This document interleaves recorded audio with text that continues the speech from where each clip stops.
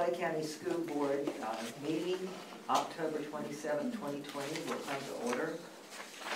Um, I think I'll disperse with the reading because I don't believe there's anyone here except staff and the board.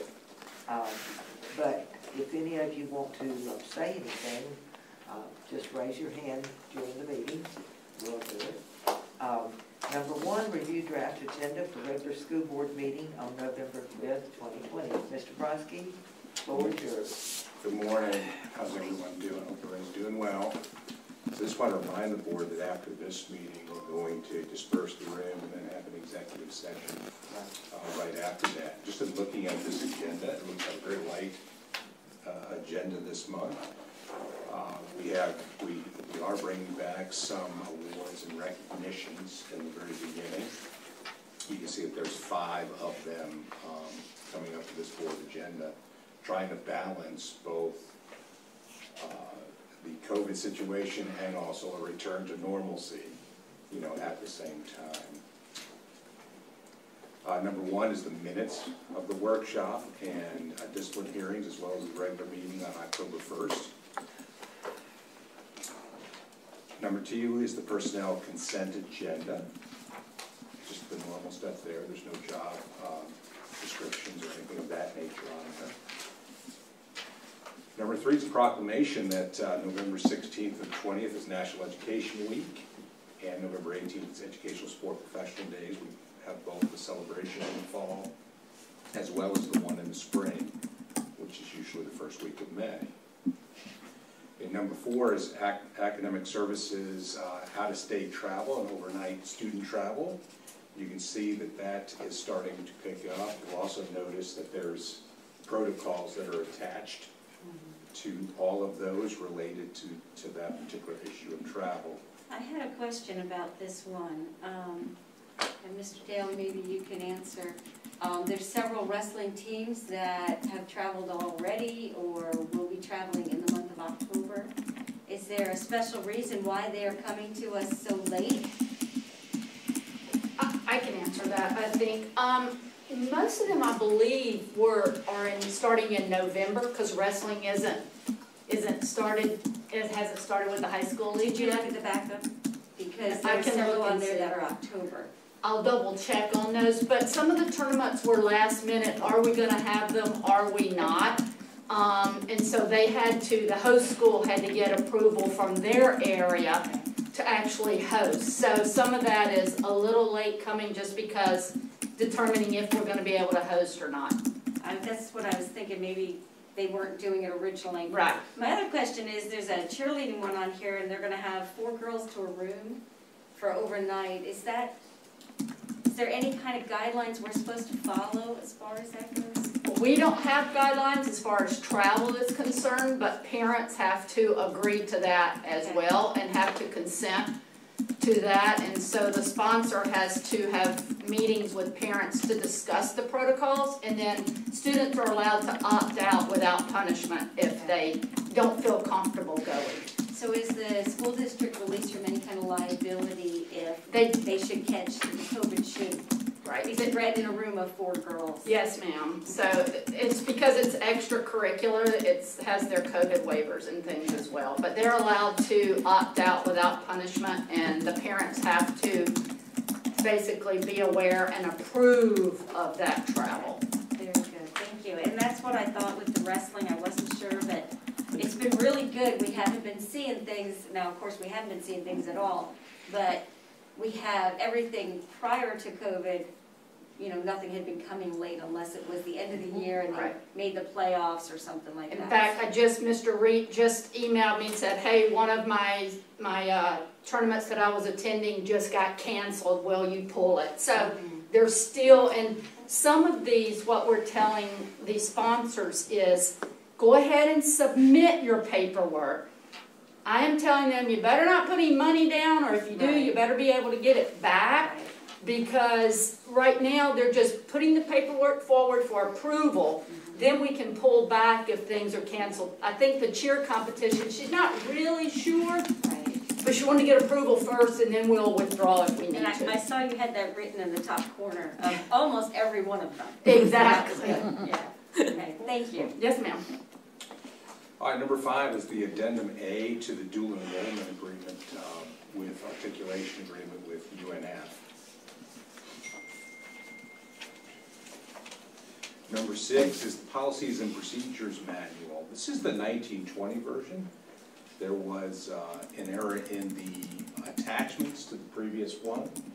Uh, Upon advice from, from council, we're starting the whole process over again for nineteen twenty uh, because the attachments were incorrect.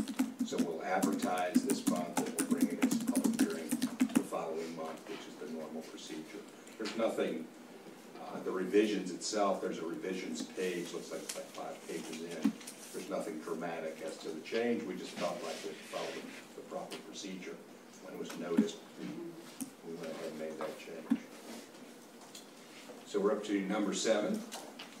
Maxim healthcare service contract, these are for nurses that we use. This is a standard contract that we have every year with, with them. Eight is the contract with the Children's Home Society with the data sharing agreement. As part of that whole process of community partnership schools, we have to share information with them. This is the contract that does that. Number, proposed allocation changes, you'll be glad to know that when you look at it, there's a, there's actually a savings, um, maybe for the first time, rather than uh, a cost involved in that. It's basically shifting around as a result. There's no doubt that this year, we'll have more shifting of individuals, both students and adults, than we've ever experienced in our entire uh, career in Clay County. Mr. Russell, on that note, um, I've had a couple of parents reach out to me wanting to verify that once they finish out this, um, fall semester, that they can come back to school in the spring and Yes. had some questions about what that process is going to. Yes, ma'am, on November second, we're going to release, uh, information to parents as well as a survey to parents, asking parents what they choose to do when it comes to the, uh, second semester. Uh, We, we've got a steady influx of parents who have asked to come back to brick and mortar schools. Of course, uh, one of the challenges is you might not have the teaching position to support that, uh, because the current, our, uh, positions are full. Have you had to turn anybody down at this point? Yeah, we do have some waiting lists at some schools, and we have to turn some people down, and most people were able to uh, provide a little bit of relief, knowing that uh, come spring, if your choice is to come back to school, that you can in fact do that. So there's no cap to the number of students that will be allowed to return in the spring? No, I- you know, one of the things we're gonna have to do is, is we're gonna have to reshuffle allocations again in order to meet that, so, Well, with have those students back comes more money. brick and mortar. yes. That's what we want, bring them back. So one of the things that we'll do is we'll put that survey out, we'll give parents two weeks to put it, to give us their response, what they would like to do. That will provide us the time to not, not only readdress where those allocations need to go, but also to inform employees and make sure that it's done properly.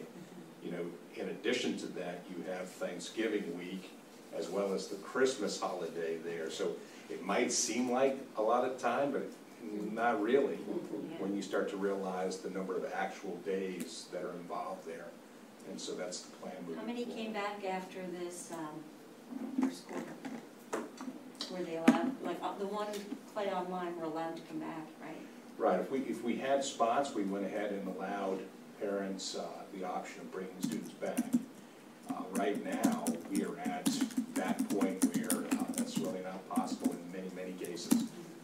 And as a result, we're going to have to wait until, uh, the second semester starts.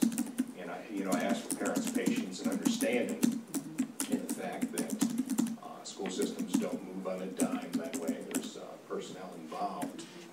And so we've done our best, and, and really the team has done a great job. Mr. Pickett, uh, Mr. Daly, uh, Ms. Tito, Ms. Fogarty, Ms. Sanders, they've done a great job of, of really conversing with parents. You know they're very big on, on, uh, customer service and providing quick customer service. Uh, That doesn't mean that everybody likes the answers that they get, we clarify that Right, right? You know, we want to be responsive, and at the same time, we, there are sometimes we can't accommodate the situation, so. How many, do we have a number? Is it five hundred? Is it, uh, eight hundred, two hundred? Don't- Don't have a number, you know, we still have about, uh, I'm gonna say twenty-three percent of people that are still in some sort of online format, whether One Clay Online or CVA. Uh, I do believe, just from the emails I receive and, and the word on the, on the street, or the word I heard, I, I think that you're gonna get a huge influx of people back, so we wanna prepare, make sure that we have the staff to service them, and that's why it's done in a, in a more organized, uh, rational fashion. The conversations that I've had have all been, um, you know, we wanna honor the system, but we really need that light at the end of the tunnel. So Right. They're Yeah. wanting to come back, they're willing to we wait, but they just do want we that have an guarantee they can agreement come with back in the. CCA regarding teachers coming back to the classroom? I think it's. I think it's understanding that we're gonna have to move student, uh, teachers to where the students are. Okay. Uh, There's no agreement, no written agreement of that sort, but we've, we worked together on this issue already once or twice with this particular issue of moving staff in order to accommodate where the students wind up going, and that's, you know, we'll continue to do that.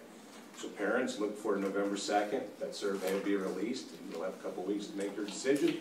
Then we'll take the information that you get, and just like the beginning, we'll move teachers and staff in order to accommodate the, the options that you brought forward, so. If you could have staff put something together, I'd like to know how many have come back already. I'm just curious, so it's probably, you know, I'm sure it's some program you can run Yeah, we'll and see say, if we can run X number have come back. and see how many come back. Okay, that brings us to number ten, uh, monthly financial reports for September. Number eleven is the, uh, the NSF write-off permission. See a couple of those there. Do we go through that by school? Or is it just happens to come up that way? If I address the board. Um, It is based on um, a timeline, Oh, depending on what's uh, out there at each school. We do look at every school and make sure that they're attempting to collect. And then once that's, we've gone through that grace period, then we'll bring it to the board to vote on. Because there's no rush to get there. Some of those are pretty old, so I think it's time. I know, I know. We're trying to get them done, but uh, there's some schools out there that's still holding on to those things. We know those people. Okay, number twelve, deletion of certain items for October. Thirteen is the uh, change order to Clay High Security Lighting repair and replacement. Fourteen is the change order for Orange Park High School HVAC repair replacement. I think that I would just call note to the fact that, just for all that are listening, it's the cost to replace one air conditioning unit on the gymnasium at, at Orange Park High School is nine hundred fifty-three thousand, dollars. I think that, that, um, I know the first time when I looked at that, I kinda, kinda gulped, like, Thought there was a mistake, right? like, oh my goodness, and- and I guess the point is that those, they, they're expensive, uh, to replace. I have an AC appointment this afternoon just for a cleanup. I certainly hope it doesn't go to nine hundred That'd and be thirty-five $59. thousand. Number fif- number fifteen, uh, district office renovation remodel, which is over there by food service and, and reshoring the, restructuring that building's integrity over there. Is that the flooring on it, or? That's, that's the upper floor of, of that particular building where, um, food service is, and shoring that up. Uh, sixteen is pre-qualifications of contractors.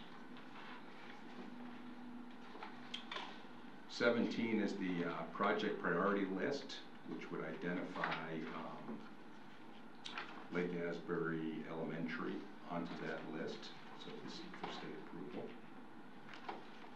Number eighteen is the school concurrency uh, proportionate share mitigation, which involves four student seats. Then on the discussion agenda, human resources special action, you can uh, read that, um, pretty standard issue there. And D two is approval of the uh, twenty twenty-one through 22, 23 S and P manual. for a public hearing. I told you it'd be quick. That's quick. Okay. later. And the, the, uh, any further comments, Mr. Broskie? No, I, you know, I just appreciate everyone's continued patience as we, we ended the first nine weeks. Um, You know, I was, I was particularly concerned because anytime that a marking period ends, you know, parents tend to take solace at those um, monumental timeframes when each quarter ends. And sometimes when that occurs, they see how their students progressing and uh, they're either very happy let's, let's, let's hope and pray that that's the case, they're very happy with how their student's doing. Or sometimes they, it's a check mark to say, my, my student needs to do more. And, um, so I, I did expect to hear, uh, a floodgate of people that, uh, were concerned about their child. I- I've heard some, right? And, uh, so I'm very, very proud of that fact. It shows that there's a little bit of flexibility in the system, a little bit of compassion by people and teachers out there when it comes to students, but at the end of the day, you know, uh, you know, the organization is developed for students to achieve academically. And so part of the return to normalcy is that there has to be a return to learning as we, as we knew it. And of course, might not be from zero to a hundred, you know, it's not a light switch that's turned on in a pandemic. I get all of that, you know, part of a return to normal is also a return to those kinds of routines in which learning is at the forefront, you know, for our students. And I'm, I'm proud of where we are as a district.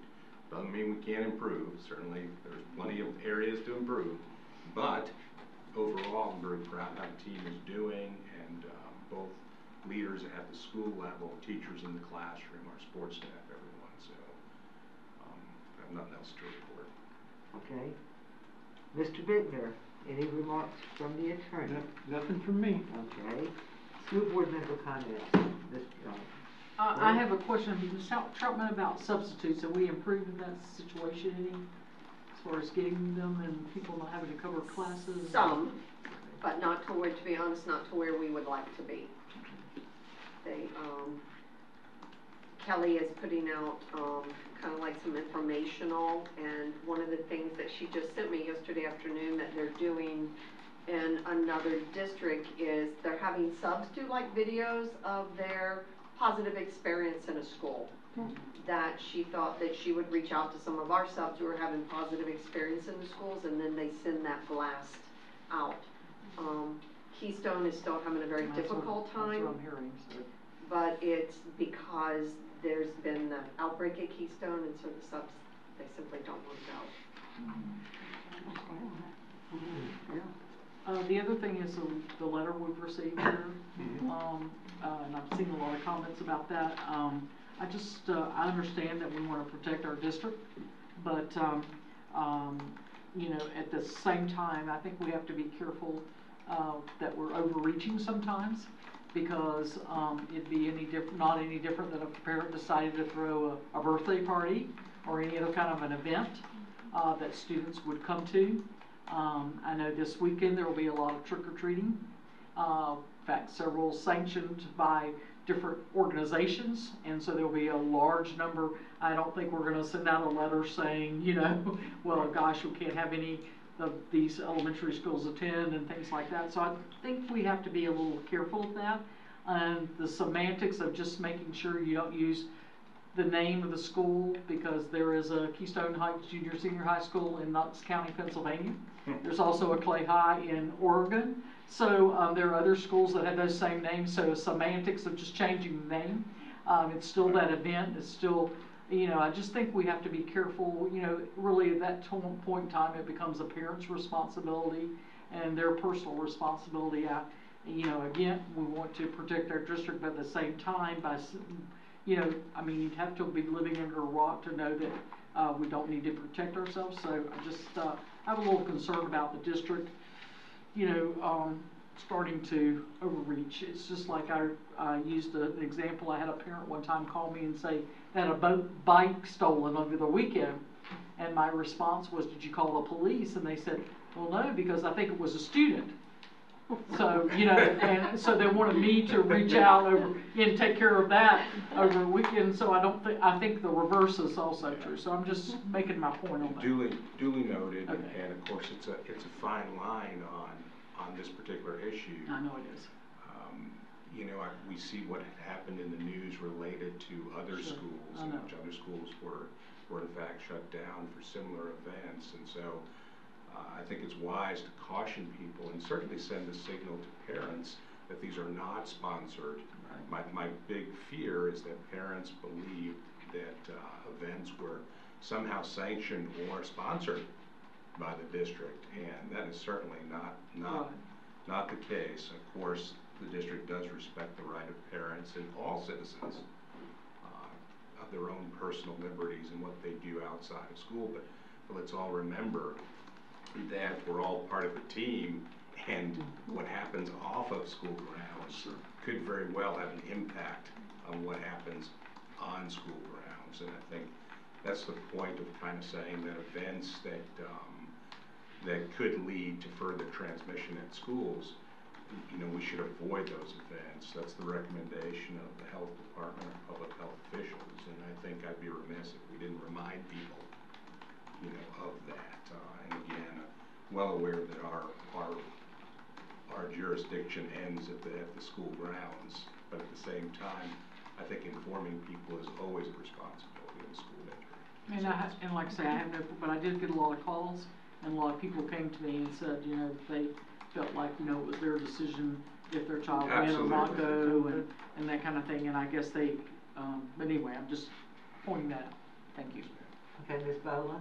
I'm uh, just going to echo, truly it is their decision, however, when I was first learning about some of these activities and getting the letter and everything, I was like, whoa, we're trying to do whatever we can to keep COVID at bay. And, and I'm glad that you did send the letter out personally, and, but it was basically saying, look, it's your choice. And that's truly it, it's their choice, but I, other than that, I have nothing. Okay. Ms. Gilhousen? Ms. Carrigan? Um, I'm just gonna echo what Ms. Bullock said about the substitutes. I Mm. talked to someone yesterday, Ridgeview High School had quite a few teachers out and they couldn't get subs. And, um, I haven't been on the dashboard to look, but, um, how are our numbers here in Clay County? So last, last week, as far as adults go, we had five, um, staff members test positive and seventy, uh, people were quarantined. Right. That were, that were staff as a result. Seventeen students total and three hundred and four people quarantined. And it's important to realize that the quarantine is a number of the previous week Right. in addition to the current one, so there's some lag that goes with that data. Well, and we appreciate them being responsible and staying home if they've been exposed, so. Yes, ma'am. How many staff did you say are in quarantine? Seventy. Mm. Shouldn't say it that way because that, those are individuals that are on uh, COVID-19 leave, which may or may not be quarantined, uh, uh, directed by the health department. So, so it gets a little bit, um, a little bit trickier as far as data reporting. But they're goes. out, we They're get out. it, we get the gist, and, and finding out. subs, I know, has And been that a would be- challenge, and I, I just, I know this person was telling me at Ridgeview High, everybody stepped up, guidance, administrators, everybody that could cover a class did, and so I know, you know, our team is all working really hard, and, uh, I'm just thinking. this Yeah, you know, the substitute issue, you know, I'll just take that one head on. It's not gonna be the same as in previous years. We recognize that. When I look at the data when it comes to, to substitutes, uh, some of the, uh, filling percentage for some schools is the same as if it was a normal year. Okay, it's almost like a, you know, a half are the same as last year and, and half are not. Um, and it just really depends on the school. I've been at several schools where, um, administrators, guidance, and other folks that aren't traditionally substituting in the classroom are, we're trying to avoid the splitting of students because then it takes students from one classroom, moves them into another, and that defeats the whole mitigation of the virus, you know, situation. But I, I echo what you're saying, Ms. Carrick, is everybody seems to be stepping up, and it's gonna be a challenge, even moving forward, and we'll continue to work on it. Well, it was impressive to the, uh, the teacher that everybody did. It's like, you know, they all got right in and helped, so. Okay. Well, I'll just, uh, before I adjourn, I'll just say that, you know, we are in different times than we've ever been in, uh, as far as dealing with COVID. Uh, everybody sitting here in this room wants our children and staff to stay as safe as possible. Um, just yesterday, I learned, um, of someone else who tested positive, who is the spouse of one of our employees. It's out there, and, and my fear is that we're going to relax and not remember that it's still out there. And we, we must try to keep everyone safe. You know, the, the things about the, the dances and the letters and so forth, you know, from the liability uh, end of it, I haven't talked to Mr. Bittner about it, but, you know, we need to, we needed a letter to clarify that the district, this is not sanctioned by the district, and I understand parents wanting some sort of celebration for their children, but it's their responsibility because we cannot take on that responsibility. And, and one reason that I absolutely love Clay County School District is because of things like you just talked about. We pull together. When we are lacking in something, uh, everybody will step in and pull together and work together as a team. And that's what makes Clay County School District so special. And uh, we are a family. And with that, I will adjourn the uh, 28, 27 minute agenda review.